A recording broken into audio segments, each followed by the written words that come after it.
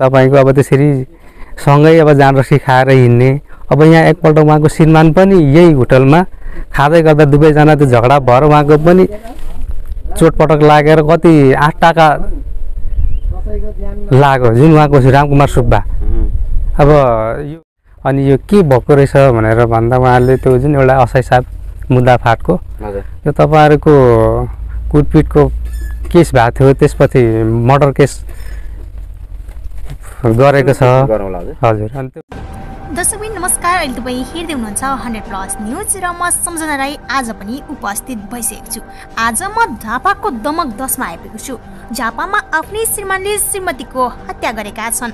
झापाको दमक दसकी उन्चालिस वर्षीय घनादेवी आचार्य र उनपचास वर्षीय रामकुमार लिम्बूको लामो समय प्रेम सम्बन्धपछि अन्तर्जातीय विवाह भएको केही समयमै श्रीमानले कुटपिट गर्दा घाइते भएकी घनादेवीलाई विराटनगरको नोबेल अस्पतालमा उपचारको लागि पुर्याएको केही समयमै मृत्यु भएको थियो। श्रीमानले केही श्रीमानले कुटपिट गरी हत्या नै गरेका हुन् भन्दै आफ्नै छोराले आमा मारेको भन्दै प्रहरीमा निवेदन दिएपछि श्रीमानलाई यति बेला इलाका प्रहरी कार्यालय दमकले पक्राउ गरेका छन्। आखिर के कारण थियो त आफ्नै श्रीमानले श्रीमतीलाई किन गरे त विभत्स हत्या? आउनुहोस् पुरा भिडियो हेर्नुहोला।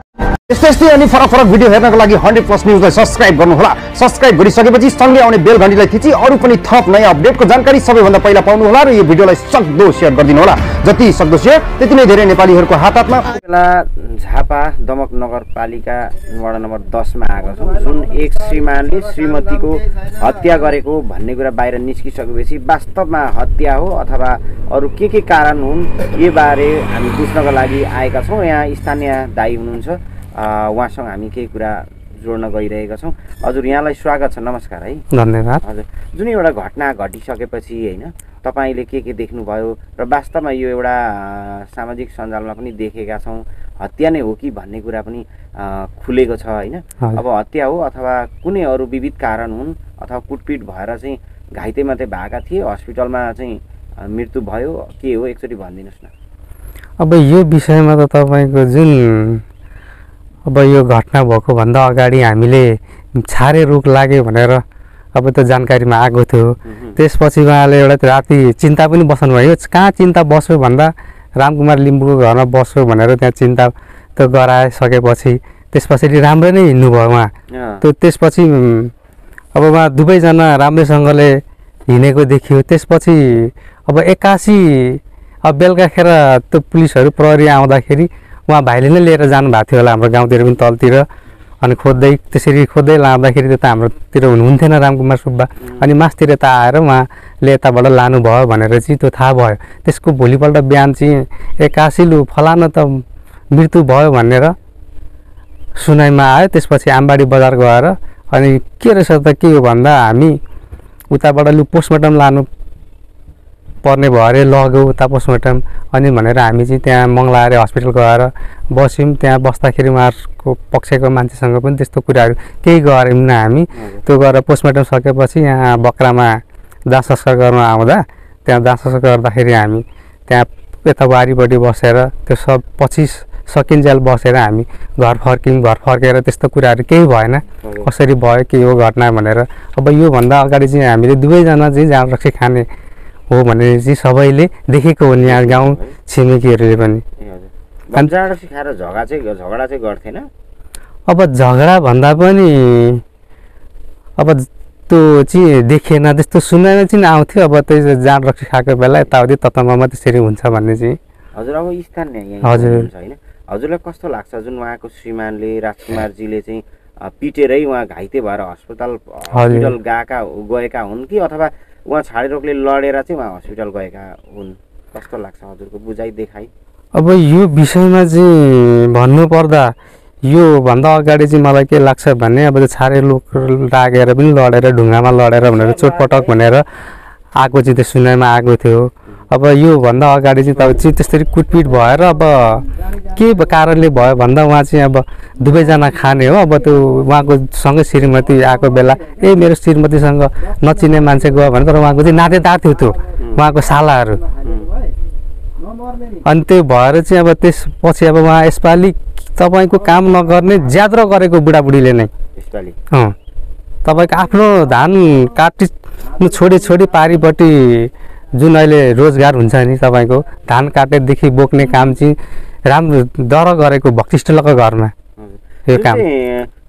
श्रीमतीको नातेदार होइन आइरहँदाखेरि श्रीमानले नचिनेको व्यक्ति होइन। कतै त्यसरी नचिनेको व्यक्तिसँग चाहिँ गफगाफ गर्यो भनेर चाहिँ होइन यस्तो हो है, त्यो त्यही त्यो चाहिँ कुटपिट भएको त्यो कारणले होला त्यतिखेर यो कुटपिटको पछि त्यो जुन उहाँको रामकुमारको भाइ हुनुहुन्छ नि राम सुब्बा लु तपाईँको आमा हुँदो रहेछ भाइ। अब यसरी यहाँ दुईजना बस्यो भने ज्यान रक्सी खाएर अब लामो समयसम्म ज्यान बाँच्दैन। यसरी यहाँ बस्नुभन्दा तपाईँको आमालाई लानुहोस् भनेर पनि उहाँले उसको भाइले भनेको यो कुरा। जुन अहिले रामकुमारको भाइ उहाँको त्यो आचार्य त्यो मृत्यु भएको छोरालाई त्यसरी भन्नुभएको। अनि त्यसपछि त्यो कुराले चाहिँ अब खै अब हाम्रो आमालाई हामीले पनि छोडेको भन्ने उहाँसँग त्यो कुराहरू म उहाँको र मेरो कुरा भयो। अब उहाँ पनि खाने मान्छे। हजुर। अनि त्यही त खाने मान्छे त्यही पनि अब। रामकुमारले चाहिँ उहाँको श्रीमती कुटेर होइन अब घाइते बनाएको अनि घाइते बनाइसकेपछि नि तपाईँको हस्पिटलमा नगएको जस्तो चाहिँ देखियो क्या। हजुर। होइन यो समग्रमा चाहिँ। अब ऊ आफ्नो चाहिँ सही ठाउँमा उसले चाहिँ नकुटेको लडेकै हो भने पनि। हस्पिटल नि त गएन नि त ऊ होइन? गएन। नजानु नै अब उसको आफै कुटेर अब यस्तो मलाई के लाग्छ भने उहाँ पनि अब त्यो एक्कासी त्यसरी पर्दाखेरि हस्पिटलमा जानको पाइ पैसा उहाँसँग नभएको कारणले अब फेरि रक्सी खाएकोमा हस्पिटल जानु हुँदैन भन्ने उसले पनि नजानु सक्छ होइन यो विषयमा त। अब सबै कुरो हस्पिटल आउँदा त पैसा हुनुपर्छ। अब पैसा जुन जुन हाम्रो बहिनी मृतक। बहिनी अर्थात् दिदी हुनुहुन्छ उहाँ चाहिँ तपाईँको अर्को श्रीमान पनि भएको छोराहरू ठुल्ठुलो। भनेर भन्नुभयो होइन। यतापट्टि हाम्रो रामकुमारजीको उमेर कति थियो र उहाँको उमेर चाहिँ कस्तो थियो? रामकुमारको उमेर तपाईँको त्यस्तै बत्तिस एकतिस सालै होला हौ उहाँ। बत्तिस तेत्तिस साल भनेपछि पैँतालिस हजुर अनि उहाँको अर्को श्रीमती जुन मृतक श्रीमती। उहाँको चाहिँ एक किन अब लगभग त्यस्तै त्यस्तै होला। त्यति उमेरको चाहिँ थाहा भएन कति हुनुहुन्थ्यो। रामकुमारको चाहिँ अर्को श्रीमती थिएन? अर्को श्री श्रीमती तपाईँको दुईवटा छोरी छ। दुईवटा छोरी भनेपछि उहाँको पनि अर्को श्रीमान छ। अँ छ। ए त्यो पोस्टमार्टमको रिपोर्ट आएको छैन है? त्यो अब रिपोर्ट चाहिँ त्यो बुझ्यौँ हामी थानामा पनि गएर थियौँ। कस्तो केस आयो भन्दा यो तपाईँको कुटपिट पछि अब यो मर्डर केसै आएको हो मृतक भएर भनेर हामी त्यहाँ मुद्दा फाटमा गएर बुझ्दा त्यसरी नै आयो कुरा। त्यो रिपोर्टमा अब के आउँछ? त्यो रिपोर्ट आएपछि हामी हेरौँला भन्ने कुरा पनि भयो। हजुर। अनि त्यसपछि उहाँ रामकुमार सुब्बालाई तपाईँको अदालत पुऱ्याइसक्नु भएको थियो। म्याद थप्नलाई उहाँसँग हामी नभेटी आयौँ त्यस दिन। भनेपछि तपाईँहरू पोस्टमार्टम गर्नका लागि मङ्गलबारको हस्पिटलमा जानुभयो। हजुर। त्यहाँ जाँदाखेरि उताको पक्ष माइती पक्षको पनि परिवारहरू थिए आएका। त्यो तपाईँको माइती पक्षकोसँग हामी त्यस्तो कुराहरू केही भएन। एउटा हाम्रै एउटा दिदी हुनुहुन्थ्यो यहाँ हाम्रै गाउँको काकी। अनि के भयो यसरी घटना हुँदा भन्दा यो हस्पिटल लाँदाखेरि द उर्लाबारीमा ल लाँदा त्यहाँ डक्टरले लिनु भएन हामी नोबेल पुऱ्याएको थियौँ। नोबेलबाट पुऱ्याउँदाखेरि अब तपाईँहरूको बेलुकाखेर अब पुऱ्याएर आउँदा फर्किँदा चाहिँ लु यो अब अहिले त्यस्तो सम्भावना छैन भनेर चाहिँ फर्किँदाखेरि चाहिँ त्यसरी आउँदा आउँदै डेट भयो भनेर चाहिँ थाहा भएको बेलुका। हस्पिटलमा पनि उपचार चाहिँ गराइएन। त्यस्तो बुझ्यौँ हामीले डेट भयो। डेट भएपछि सिधै घरमा ल्याइएन। त्यो चाहिँ तपाईँको बिहान मात्रै थाहा भयो। हामी- यो सब तपाईँको हस्पिटलबाट आएर उहाँको जुन छोराहरू हुनुहुन्छ नि दुर्गापुरी हो उता लगेर अनि त्यहाँबाट छोराले नै ल्याउनु भयो त्यहाँबाट हस्पिटल पोस्टमार्टम गर्नु मङ्गलाएर लानुभयो भन्दा हामी त्यो एउटा उहाँको भाइस र म गयौँ। अब त्यो सुन्ने बित्तिकै के हो? अब त झट्टै सुनेर जाँदा त्यहीँ अब त्यो पोस्टमार्टमको लागि हेर्नु जानु खोज्दा त अब तयारीमा छ त्यो हेर्नु मिल्दैन। अँ देखेन त्यो कुरा पनि गऱ्यौँ न हामीले पनि। अनि त्यहाँ सोद्धा कतिजना छोरा हो भन्दाखेरि तिनजना छोरा। भन्नुभयो उताको त्यो जुन एउटा त्यो काकीलाई सोद्धा। अनि उहाँको बुवा चाहिँ कता हुनुहुन्छ भन्दा विदेशी हुनुहुन्छ भन्नुभयो। छोराहरू। यो घटना चाहिँ ठ्याक्कै। रामकुमार लिम्बुकुलले चाहिँ होइन कुटपिट गरेरै अर्थात् उनकै कुटपिटबाट नै चाहिँ होइन मृत्यु भएको भन्ने पोस्टमार्टम रिपोर्टमा साबित भयो भने तपाईँ चाहिँ आफ्नो पर्सनल तर्फबाट कानुनी मापदण्ड होइन अनुसार कस्तो सजायको माग राख्न चाहनुहुन्छ?